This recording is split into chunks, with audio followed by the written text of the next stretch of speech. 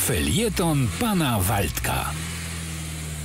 Przypominam Państwu, że felieton jest zaległy, miał być odczytany tydzień temu, stąd też nawiązanie do y, Dnia i Święta Wielkiego Niepodległości w Kotka i Myszkę.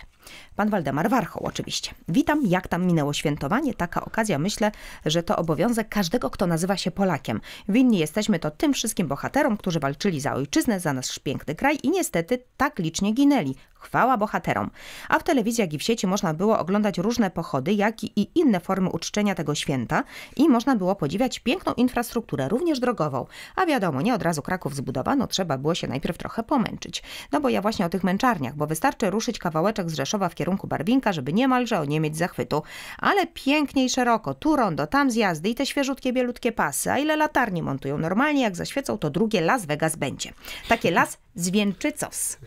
Okolica nie do poznania. A i w Bogu chwale też piękny zjazd kończą robić, tylko na razie nie wiem dokąd, bo na końcu tego zjazdu takie wąziutkie dróżki, że ciężko się rozminąć, a poznałem ci ja dobrze te dróżki, bo niejednokrotnie nimi pomykałem w nadziei ominięcia korków. A te korki okna psuły mi krwi okna psuły. Ja już zacząłem popadać w paranoję, już dopatrywałem się spisku jakiegoś. Normalnie gdzie nie pojechałem, tam jakieś roboty i pyk koreczek. Już myślałem, że to się tak odbywa, że jak ja wpisywałam miejscowość docelową w GPS-ie, to od razu kilku gości w pomarańczowych goniło tam, żeby postawić znaki i zrobić koreczek. Chore, nie? No ale tak było. Na szczęście prace dobiegają końca i teraz pozostaje tylko cieszyć się i korzystać z luksusów drogowych. Ale e, tak się nieraz zastanawiałam, czy frustracja związana z korkami jest ściśle powiązana z ilością pokonywanych dziennie kilometrów.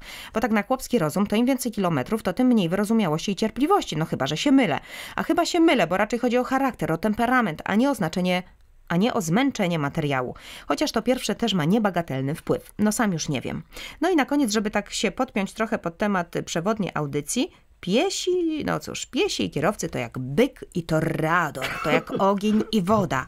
A najlepsze jest to, że gro pieszych jest też kierowcami i idąc po pasach zapomina o tym, tak samo jak będąc za kółkiem zapominają o pieszych. Pieszy, idę wolno, bo mi wolno, albo pasy to mój bastion i ja tu rządzę. A tu niestety nie mają racji. Po przejściu należy przechodzić dynamicznym krokiem, na pasy wchodzimy, nie wymuszając pierwszeństwa, zwłaszcza jeśli to tylko kilka aut, a później spora luka.